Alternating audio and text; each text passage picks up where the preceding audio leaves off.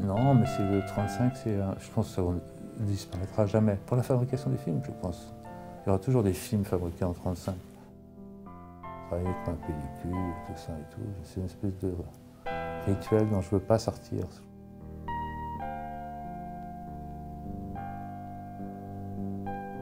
Ouais, je, je trouve ça très bien, oui. Parce que moi, je suis plus amoureux... Euh, J'aime le cinéma, mais je ne pourrais pas me passer des autres arts comme spectateur, je veux dire.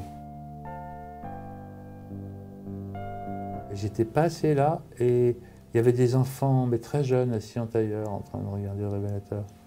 Puis un film muet, comme ça et tout. Oui, oui, c'était bien. Je trouve ça très bien. Quelque part, euh, justement parce que c'est le 7e art, c'est quelque chose qui n'est pas.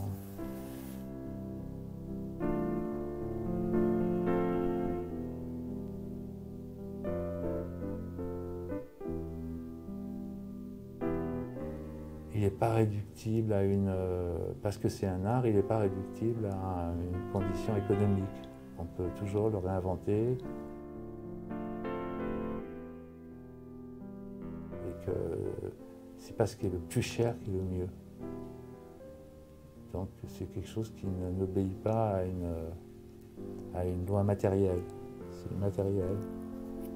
C'est un, rapport entre la pensée et ce qu'on inscrit avec sa pensée sur un écran. C'est- C'est matériel, je pense.